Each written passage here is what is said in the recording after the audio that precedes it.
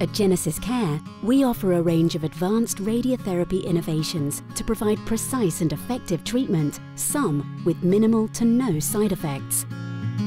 Stereotactic ablative radiotherapy, or SABR, is a safe and effective advanced radiotherapy technique.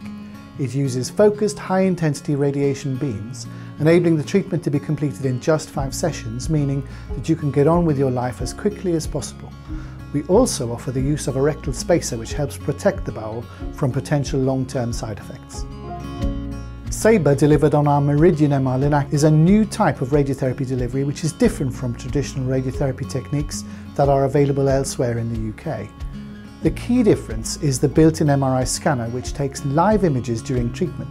This allows the high doses of radiation to be delivered with greater accuracy whilst reducing the dose of radiation to nearby healthy tissue and organs. Being able to see as we treat means greater confidence and accuracy of treatment delivery.